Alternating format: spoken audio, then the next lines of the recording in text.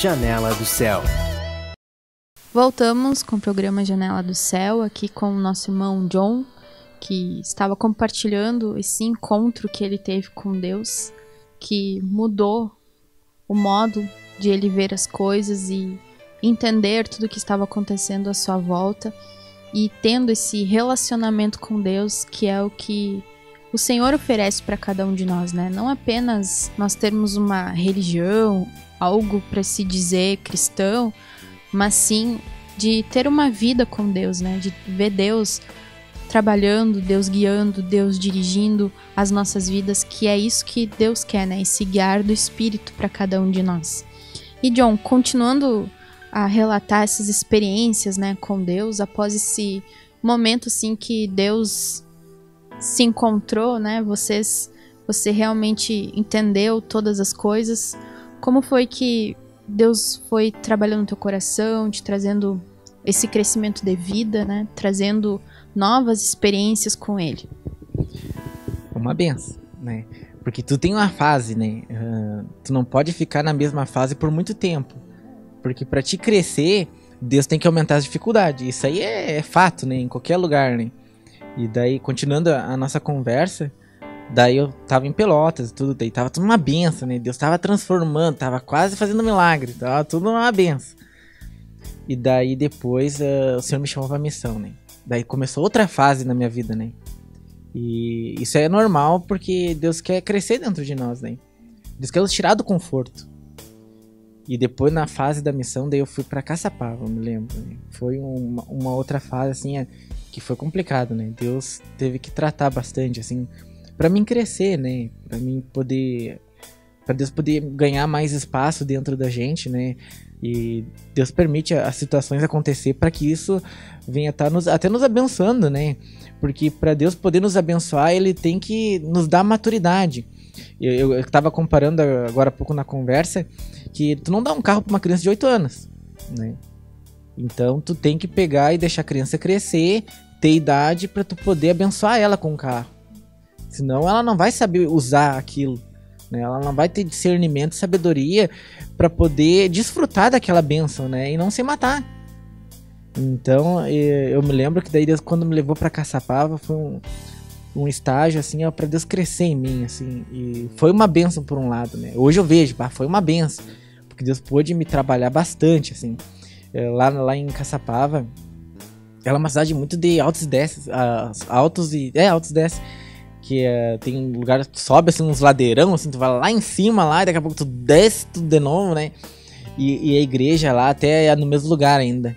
E eu olhava assim para as divisas, né, da cidade assim que daí da da janela, tu conseguia olhar assim para as divisas da cidade, porque a cidade não é grande, né? É uma cidade pequena. Então tu olhava para toda a, a, volta da cidade, né? E tudo mato, mato, mato, mato, mato, né? E aquilo me dava um troço dentro de mim, assim, eu, mas nunca vou sair daqui. Tipo, Bahia, eu, eu fui acostumado, bom, Pelotas cidade grande, Porto Alegre cidade grande, né? Então eu gostava da, da daquele meio, assim, sabe? Do agito, da, daquela situação toda, né? E eu, bah, agora nunca mais vou sair daqui, tio. Eu chorava, já cheguei ao momento de chorar, assim, por estar tá sendo tratado pelo Senhor, né? E daí, mas Deus sempre dava o conforto, né? Sempre deu bastante experiência, me deu muita experiência lá. Fiz grandes amigos lá na época, né? Pude uh, ser bem abençoado lá pelo Senhor né, cresci bastante, né, caí bastante, levantei bastante, porque eu era novo, imagina, eu tinha, nessa época, quando eu fui pra missão, eu tinha 16 anos. Né? Então tu vê, se passou um ano e meio, quase dois da época que eu tinha conhecido de fato Jesus, né, tava tendo uma experiência mais íntima com ele, para ir já pro campo de batalha, né, era como se eu fosse um Davi, tu não tem a espada, tu não tem escudo, tu tem uma funda, né, e tu tá ali no meio do gigante. E aquilo foi uma experiência bem, bem bacana para mim, né? Os irmãos da, da minha época ainda estão lá, ainda alguns, né? Que foram escolhidos pelo Senhor a dedo para estarem lá e estão lá e estão sendo uma benção, né? Graças a Deus, o Senhor tem abençoado bastante aquela cidade. Daí depois de lá, fechou mais ou menos um ano, um ano e pouquinho, um ano. E daí depois eu fui pra. Tô dando um resumão, bem resumão, assim, sabe? Não vou ficar duas horas aqui falando. Daí depois eu fui pra Camacuã, né? Que foi outro tratamento do Senhor, né? Deus pôde me, me tratar bastante lá também. foi a mesma coisa, assim, Deus tem que crescer dentro de nós, né? Foi outro estágio, outra fase, né? Deus queria mexer em outras áreas da minha vida, né? Queria crescer, né? E se expandir. E foi bem trabalhoso também, mas é o normal, né? Assim, eu tô acostumado num ritmo de vida, assim, que a minha vida tá, tá, tá indo, né? Daí quando vê, Deus dá uh, um avanço na minha vida, né? Ou seja, ele parece que ele quer crescer mais, assim, então ele dificulta. É uma fase, algo a partir de agora, vou dificultar um pouquinho para ver como é que tu vai reagir. E lá em Kamakura foi dessa forma. Deus levantou as circunstâncias para que eu que eu fosse mudado pelo Senhor, né? E trabalhar os irmãos também, trabalhar todo mundo, né? Porque na medida que quando tu tá uh, sendo tratado pelo Senhor, quem tá na tua volta também é tratado pelo Senhor, né? Que tem a, as tuas reações não vão ser as mesmas de quando tá em paz. Então, tu toma atitude quando tá em guerra de uma forma e quando tá em paz de outra, né? Então Deus lá também foi uma benção, né? Tem irmãos lá que estão até hoje lá também, que foram escolhidos a dedos pelo Senhor, né? E são uma benção também, a cidade super abençoada pelo Senhor, né? Hoje tem um irmão lá que tá sendo uma benção lá nessa cidade, né? Então tudo tá, tá indo como Deus quer, né? Eu vejo que foi uma época boa para mim também. Às vezes a missão a gente pensa que a missão é para a cidade, mas no fim a missão se torna um pouco também para o missionário que vai, né? Que às vezes a gente, quem é enviado, no caso eu também sou missionária, a gente vai, a gente pensa que Deus vai trabalhar no povo, mas não, né? Deus vai trabalhar no missionário, no enviado de Deus. É, porque tu está numa cidade que não é tua, né? Tu tá vivendo uma vida que tu não vivia antes, né? Então, tudo isso para nós, né, pro missionário, é, é uma batalha, né? Tu tá num lugar, é um campo novo, tu não conhece ninguém, né? Ou tu conhece, mas assim, de, de vista, né? De longe, mas daí tu começa a conviver com as pessoas, né? É outra cultura muitas vezes, outra rotina, né? A, a política da cidade é diferente, né? Até uh, o que move a economia da cidade é diferente e tu tem que te adaptar a tudo isso, né? E tem que expressar o Senhor.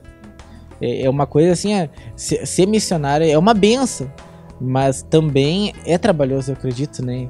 Que eu vivi assim uns períodos assim bem bem complicado, mas era para que Deus queria que crescer em mim, né? E logo depois que tu passa por aquele momento, tu pensa, bah, foi bom ter passado pela aflição, né? Senão não aprenderia os decretos do Senhor. Tem a palavra lá que de Salmo 119, alguma coisa, fala bem isso. Então uh, foi uma experiência bacana. Daí depois. Ah, tem um episódio que eu me lembro agora, me lembrei agora, né? Lá em Camacuã. Eu e uma irmã que tá até hoje na vida da igreja, a gente caminhava, sei lá, uma hora e meia, quase duas horas pra ir num grupo lá fora. Tipo. E muitas vezes tava assim, quase chovendo, né? Algumas vezes a gente pegava ônibus e era tudo. Na época não tinha uh, WhatsApp, não tinha internet, a, flu, a fluido que nem hoje, né? E tudo era mais difícil, a gente ia a pé, andava para cima e para baixo naquela cidade a pé, porque eu era menor de idade, não tinha carro, ela também não tinha. Então foi assim, a, experiências bem bacanas assim. Ela também vai ter bastante história para contar dessa época, né? E foi uma benção, cresci bastante, né? E conheci muita gente nova, tive experiências grandes lá com o Senhor, né? E tudo isso porque foi difícil, né? E foi uma benção, me lembro assim que foi uma benção. A gente andava de ponta a ponta da cidade a pé. Muitas vezes assim, ó, dia de chuva, dia de sol e tinha grupo familiar, a gente buscava honrar o Senhor, né? Assim, para não ir era nos últimos dos últimos, né? Senão a gente tava lá. E era uma benção, eu me lembro. É, esses desafios Deus coloca sempre, né? Pra aperfeiçoar cada um de nós, acredito, né? Aperfeiçoar a obediência, a disciplina. Se a gente vai obedecer ou não. Tudo isso Deus olha no nosso coração. E depois, João, quais foram esses caminhos aí que você já andou pra, por vários lugares? Depois, depois de um ano lá em Camacuã, eu fui para o quartel. Me lembro, fui pro quartel. E Deus tratou bastante lá também. E mas foi uma benção, né? Tudo foi uma benção. Depois fiquei em Cachoeira, depois do quartel eu fui, fiquei morando em Cachoeira ainda, depois fui para Pelotas. Depois fiquei um período lá em Pelotas, lá, uns, uns, quantos anos lá em Pelotas. E depois voltei. Daí já faz uns dois anos e meio, três por aí que eu tô em Cachoeira. E uma benção, assim, Deus tem, né? Uh, muitas vezes Deus usa, né? As pessoas para tratar a gente, para nos abençoar. Às vezes Deus nos usa para abençoar e tratar outras pessoas também. E é isso aí. Foi bem um resumão assim do que, né, do que a gente passou nesse período. É, até foi bom poder lembrar, porque não lembro, muita coisa a gente esquece, né? Pô, a gente passa uma vida assim, né? Passou por várias fases, vários estágios, né? É, foi para vários lugares, né? E a gente olha, pô, quanta coisa aprendi, né? Quanta coisa eu vivi nesse período. E tudo foi para edificar, né? Tudo teve um propósito, assim, Deus queria fazer, sempre quis fazer alguma coisa através né, de, de nós. E foi uma benção, assim. Para nós encerrarmos então a nossa entrevista, John, contando assim um pouquinho das tuas experiências recentes, né? Aquilo que Deus fez, está fazendo no teu coração, é, casou, né? Enfim, tantas coisas que Deus trouxe como novidade agora nesse último ano e aquilo que você sente assim Deus trabalhando no teu coração hoje. Pois é, o que, que eu vou dizer assim? Uh, Deus ele é tremendo, né? E ele me mostra assim sempre que ele tá, tá comigo assim de várias formas, né? Até através dos livramentos, assim. Deus me mostra que ele tá comigo, embora muitas vezes aparece que ele não não não tá, mas Deus dá experiências uh, semanalmente, mensalmente para mim, uh, me dando conforto nas tribulação, né? Me abençoando em épocas de paz, né? Hoje, assim, eu vejo que na minha vida Deus sempre usou assim as pessoas assim para acrescentar algo em mim, né? A amizade, a sabedoria, né? Eu vejo que hoje a fase que, que eu tô vivendo hoje é uma fase assim bem abençoada pelo Senhor, sabe? No trabalho, em casa, né? Há pouco tempo eu casei também, né? Não foi fácil assim eu tomar chegar a tomar essa decisão, né? Mas foi uh, uma benção, Senhor, que é agir dentro da, de mim, né? Que é aumentar uh, os estágios uh, na minha vida, né? Então foi tem sido uma benção, assim. Só agradecer ao Senhor por tudo que Ele tem feito. Né? Deus tem todos os dias dado experiência né, através da, do trabalho, né, as próprias circunstâncias externas, né, colega de trabalho, família, né, relacionamento, né, cliente, uh, tudo isso Deus usa para agregar dentro de nós para a gente crescer, né? Não, não, pensa não assim que uh, os momentos ruins não servem para nada. Pelo contrário, eles nos amadurecem, né? Nos tornam pessoas melhores. E a gente precisa entender esses momentos, né? A gente precisa entender e não escabelar as cabeças, o cabelo e desistir, de se desesperar, não, não quero mais, né? Porque é, é, muito mais fácil tu desistir de alguma coisa do que tu prosseguir e perseverar, né? Mas assim, ó, se tu desiste, tu deixa de viver algo na tua vida que Deus tem para ti e tu nunca vai saber o que, que é, né? Muitas eu vi muitas pessoas saírem da igreja por não estar tá aguentando a pressão, né? Não estar tá aguentando a, a, circunstância, né? Tá fraco ali, bah, não tô aguentando mais o momento, não sei o quê. Mas não pode desistir, não podemos abandonar. É difícil, é, mas buscar o Senhor para que o Senhor dê um refrigério, né? Para que Deus venha estar tá dando um ânimo de motivação, porque as coisas não são fáceis mesmo. Mas é, a gente precisa passar por aqueles momentos para depois a gente entender. A gente não entende na hora. A gente não entende. A gente fica sem saber o que está acontecendo. Mas tem que buscar o Senhor, que o Senhor sempre dá o norte, né? Eu sempre falo isso aí. Ó, assim, o Senhor dá o norte para mim poder seguir a tua mesmo sem entender.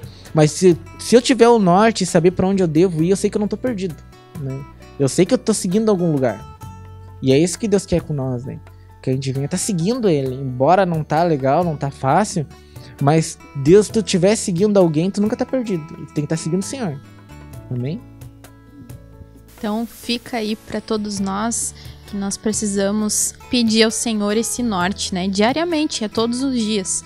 Pedir esse fortalecimento, porque eu acredito que a cada dificuldade, a cada prova que nós passamos, a nossa fé se fortalece, nós mantemos a fé crescente e cada vez mais nos aprofundamos, né, em Cristo que Ele é o único que pode suprir todas as nossas necessidades, pode nos manter, pode fazer tudo na nossa vida.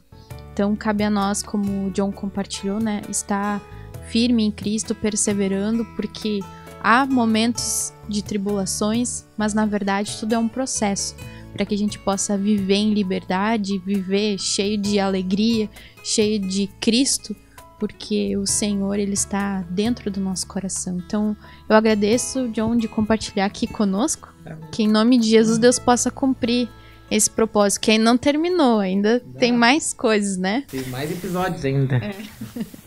então, nós ficamos por aqui, irmãos. Que Deus abençoe a cada um de vocês. TV Menorá apresentou Janela do Céu. Um programa com entrevistas. Janela do Céu.